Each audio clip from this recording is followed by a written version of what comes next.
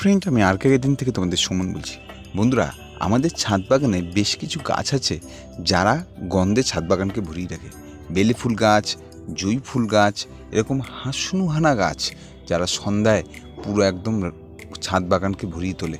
বন্ধুরা, এর সঙ্গে চামলি গাছও আছে যারা সন্ধ্যায় ছাদ বাগানকে পুরো ভরিয়ে তোলে বন্ধুরা। বন্ধুরা, এই সমস্ত ফুল গাছের থেকেও আরেকটি ফুলের রাজা হলো আমাদের রজনীগন্ধা। যেমন দেখতে সুন্দর লাগে, তেমনি কিন্তু ছাদ বাগানকে গন্ধে ভরিয়ে রাখে বন্ধুরা। এই রজনীগন্ধার প্রত্যেকটি কন্দ থেকে তোমরা স্টিক সহজ পরিচর্যার মাধ্যমে কীভাবে বের করবে, আজকে তোমাদের এই ভিডিওর মাধ্যমে সমস্তটাই বলব। আমার প্রত্যেকটা স্টিক দেখো, প্রত্যেকটা স্টিক খুব সহজ পরিচর্যার মাধ্যম থেকে আমি বের করেছি। আজকে তোমাদেরকে সেটাই বলব যে, কী পরিচর্যা করলে খুব কম সহজে দেখো, আবার নতুন স্টিক তোমরা কিন্তু দেখতে পাচ্ছ দেখতে পাচ্ছ প্রত্যেকটা, দেখো নতুন স্টিক আবার আসছে ওই যে। প্রত্যেকটা কন্দির নতুনভাবে স্টিক আসছে এবং কীভাবে সহজ পদ্ধতিতে তোমরা আনবে, আজকে তোমাদেরকে সেটাই এই ভিডিওর মাধ্যমে বলব। তাহলে চলো দেখে ভিডিওটা স্কিপ করবে না।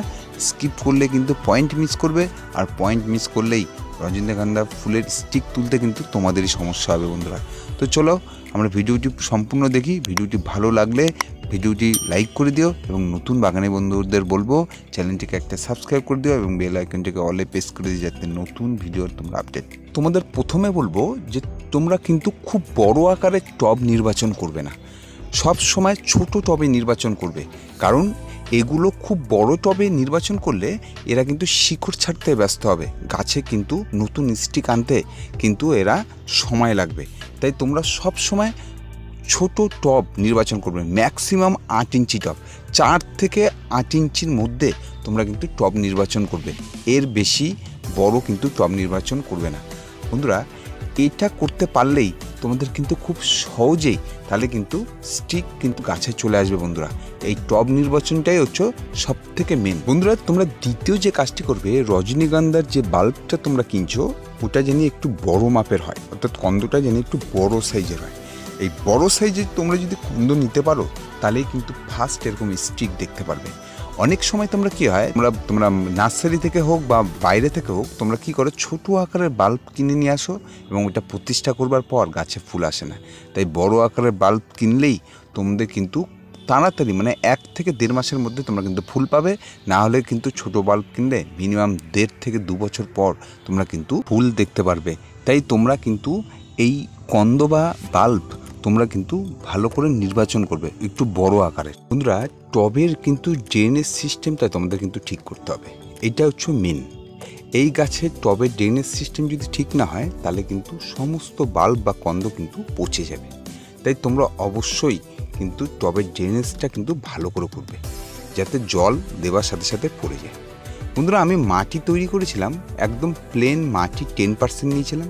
টেন পার্সেন্ট নিয়েছিলাম বালি এবং এই যে যে সবজির খোসা আমরা যে সবজির খোসা জলে ভিজিয়ে দিতাম, সেই সবজির খোসাগুলোকে শুকিয়ে নিয়ে আমি তার সঙ্গে মিশিয়ে আমি এই বসিয়ে দিয়েছিলাম এই রজনীগন্ধা কল।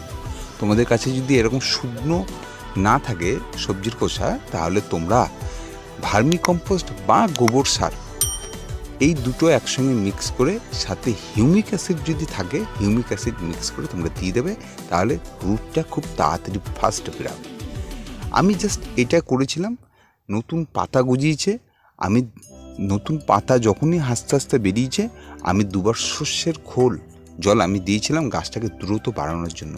শস্যের খোলের সঙ্গে বারো একষট্টি শূন্য। বারো একষট্টি শূন্য এবং শস্যের খোল দুটোকে একসঙ্গে মিক্স করে আমি কিন্তু এই টবের মধ্যে দিয়েছি। তার কারণে কিন্তু গাছটি কিন্তু খুব ফাস্ট গ্রো হয়ে গেছে বন্ধুরা। এরপরে আমি স্টিক আনবার জন্য যে খাবারটি দুবার প্রয়োগ করেছি, চলো এখন একবার প্রয়োগ করে দেখিয়ে দিচ্ছি। বন্ধুরা, রজনীগন্ধা গাছের খুব ফাস্ট স্টিক আনতে গেলে এই খাবারটা তোমরা শুধু দিয়ে দেখবে। এটা হচ্ছে রজনীগন্ধার ম্যাজিক খাবার। এনপিকে দশ ছাব্বিশ ছাব্বিশ। দাম যেরকম কম, গুণ কিন্তু দ্বিগুণ। বন্ধুরা, এই এনপিকে দশ ছাব্বিশ ছাব্বিশ তোমরা কিন্তু এক চামচ নিয়ে নেবে। আমি এক চামচ নিয়েছি আমার দুটো গাছ সে কারণে আমি এক চামচ নিয়েছি। তোমাদের যদি একটা থাকে, একটা আমার একটা টবের মধ্যে তিনটে, দুটো এরকম করে কন্দ আছে, এই জন্য আমি এক চামচ নিয়েছি। এবং তোমরা নিয়ে নেবে মাইক্রো নিউট্রেন্স তোমাদের কাছে যদি এরকম দানাওয়ালা মাইক্রোনিউট্রিয়েন্টস থাকে, তাহলে তো ভালো। না হলে তোমরা সিউড দানা তোমরা কিন্তু নিয়ে নিতে পারো। যাদের কাছে দানাওয়ালা মাইক্রোনিউট্রিয়েন্টস নেই বা সিউড দানা নেই, তারা যে কোনো একটা মাইক্রোনিউট্রিয়েন্টস তোমরা স্প্রে করবে। টবের মাটিতে এনপিকে দশ, ছাব্বিশ ছাব্বিশ দেবে এবং স্প্রে করবে তাহলে যে কোনো একটা মায়া, ভালো মাইক্রোনিউট্রিয়েন্টস তাহলেও কিন্তু বন্ধুরা হবে। তো যাই হোক, এরকম দুটোকে একসঙ্গে ভালো করে মিক্স করবে। মিক্স করবার পর টবের মাটির চারদিক থেকে ভালো করে খুশে তোমরা কিন্তু এই খাবারটি দিয়ে দেবে। তবে একটা কথা এই খাবারটি দেবার পরে তোমরা কিন্তু গাছ কিন্তু সম্পূর্ণ রোদের মধ্যে রাখবে। এই গাছ কিন্তু রোদ্দুর খুব পছন্দ করে এবং রোদে যদি এই গাছ সম্পূর্ণভাবে খাবার পায় এবং সম্পূর্ণভাবে রোদ্দুর পায়, তাহলে কিন্তু খুব ফাস্ট তাহলে কিন্তু স্টিক নিয়ে চলে আসবে বন্ধুরা। আমি এই পরিচর্যা করেই আমি প্রত্যেকটা গাছে এইভাবে আমি স্টিক নিয়ে এসেছি। আমি সেই পরিচর্যাটাই তোমাদেরকে বললাম। তোমরা করে দেখো। তোমাদেরও প্রত্যেকটা কন্দে কিন্তু খুব কম সময়ে, এক থেকে দেড় মাসের মধ্যে তোমাদের কিন্তু স্টিক চলে আসবে বন্ধুরা। তো আজকের ভিডিওটি এইখানেই শেষ করলাম। তোমরা সবাই ভালো থেকো।